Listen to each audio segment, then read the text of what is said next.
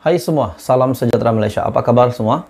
Tuan-tuan dan puan-puan, satu pendedahan terkini yang sangat mengejutkan daripada SPRM. Bagi saya, ini satu lagi pendedahan ataupun satu lagi kebocoran rahsia yang berjaya dilondekan, berjaya dibongkar oleh SPRM yang diketuai oleh Tan Sri Azam Baki.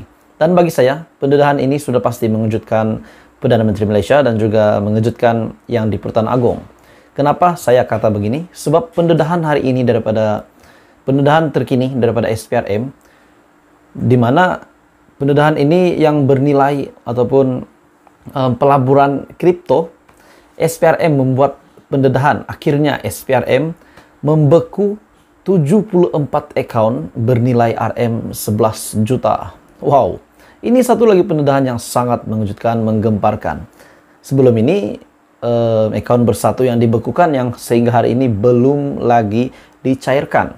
Dan terkini pula SPRM membuat pendedahan lagi bahwa ada 74 account dan ke-74 account ini bernilai RM 11 juta. Saudara-saudara, nilai RM 11 juta bukanlah jumlah yang sedikit. Jadi ini satu lagi pendedahan yang mengejutkan. Oke, sebelum kita ke berita sepenuhnya, saya meminta jasa baik Anda untuk bantu channel ini dengan menekan butang like, menekan butang subscribe, dan dipersilakan share. Terima kasih. Oke, saudara-saudara, kira-kira 74 account milik individu dan syarikat yang bernilai RM 11 juta dibekukan Suruhanjaya Pencegahan Rasuah Malaysia selepas disyaki terlibat dengan sindiket. Ha, lagi-lagi sindiket. Kali ini sindiket apa pula? Selepas disyaki terlibat sindiket penipuan pelaburan dan mata wang kripto. Pembekuan akaun berkenaan hasil penahanan 11 individu yang ditahan SPRM menerusi Op Tropicana yang membongkar kegiatan penipuan pelaburan dan eh, maafkan saya, pelaburan antarabangsa pada minggu lepas. Jadi berita ini bertarik pada 28 Februari 2023. Jadi saudara-saudara, satu lagi pendedahan mengejutkan di mana 74 account dibekukan bernilai RM 11 juta dan juga 11 individu yang ditahan SPRM menerusi Op Tropicana. Jadi ini satu lagi sindiket penipuan, pelaburan dan mata wang kripto. Dalam laporan utusan Malaysia, bahagian pengubahan wang haram ataupun AMLAH Datuk Muhammad Zamri Zainul Abidin, beliau berkata, hasil risikan dan juga maklumat suspek yang ditahan.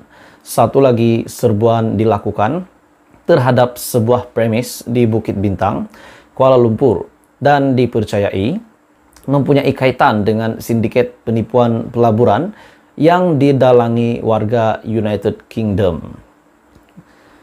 Kata beliau, premis itu dipercayai masih dalam proses pengubah suayan bagi dijadikan salah satu panggilan ataupun boiler room untuk menipu mangsa warga Malaysia dan warga negara asing.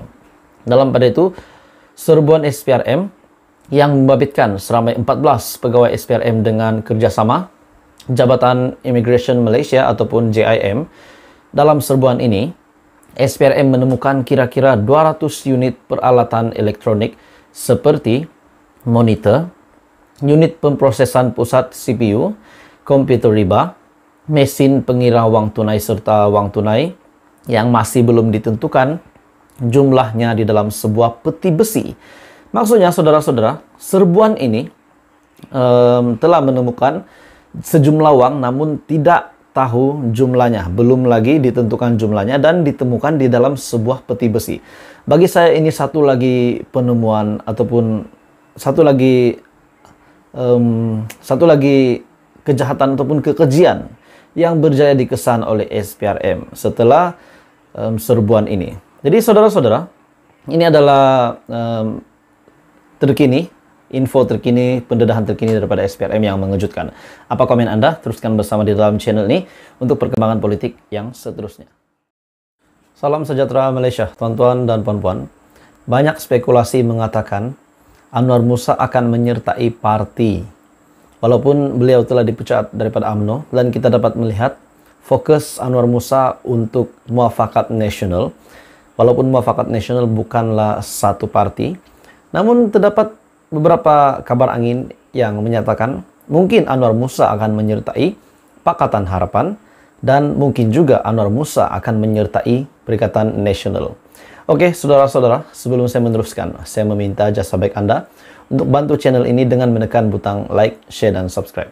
Anda boleh komen, uh, di manakah sepatutnya Anwar Musa, parti ataupun uh, gabungan yang beliau sesuai. Adakah uh, kembali uh, sekiranya beliau masuk Pakatan Harapan, sudah pasti lebih terdedah, terdedah kepada AMNO Barisan Nasional. Dan hari ini saudara-saudara terdapat satu kenyataan yang mengatakan bahwa Anwar Musa Perikatan Nasional, maafkan saya, Perikatan Nasional akhirnya mengumumkan satu pendedahan yang mengejutkan yang berkata, Perikatan Nasional secara terbuka mengalu-alukan bekas ahli parlimen Ketere, Tan Sri Anwar Musa, untuk menyertai parti tersebut. Presiden PAS Tan Sri Abdul Hadi Awang menyifatkan bekas Menteri Komunikasi dan Multimedia itu merupakan seorang pemimpin yang berwibawa. Beliau juga pemimpin yang berwibawa yang boleh membaca politik tanah air. Beliau akan buat keputusan sendiri. Kita alu-alukan. Saudara-saudara, adakah uh, sekiranya Anwar Musa ini pendedahan ini sampai ke telinga Anwar Musa, adakah beliau akan mempertimbangkan? Tapi kita kena ingat bahwa semasa pendedahan uh, berkaitan dengan duit di bilik Muhyiddin Yassin. Salah satu yang telah mendedahkan perkara ini adalah Anwar Musa. Beliau membuat pendedahan. Saya tak, um, saya tak ingat, tak pasti sama ada Anwar Musa ataupun Puat Zarkashi. Antara Puat Zarkashi ataupun Anwar Musa.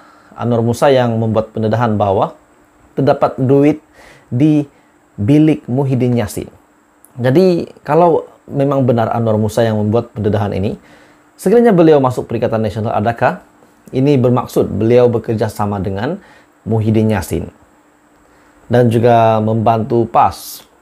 Beliau juga berkata demikian, yaitu Tan Sri Abdul Hadi Awang, pada sidang akbar selepas program Dialog Ulama Negarawan, sempena pelancaran buku Fik Siasah Abdul Hadi Awang pada Selasa. Pada Isnin, Anwar Musa membuat kenyataan, beliau berkata, sedang memilih, sedang memilih dan bersedia menyertai mana-mana parti politik yang sesuai dengan perjuangannya selepas hampir tiga bulan dipecat daripada AMNO. Adakah dengan kenyataan Anwar Musa, beliau mungkin berat kepada PAS akan menyertai PAS, itu menyertai Perikatan Nasional. Menurut Anwar Musa juga, tempoh tiga bulan tidak berparti itu digunakan untuk bermuhasabah dan memerhatikan arus dan pola politik negara. Selain itu, mengulas mengenai perkembangan Perikatan Nasional, Abdul Hadi berkata, gabungan itu ketika ini menunjukkan perkembangan yang positif sejak PRU 15. Ada sebagian AMNO turut menyertai PN, dan hasilnya kita dapat sebuah negeri perlis. Kita marah di Pahang dan Perak menurut kenyataan Hadi.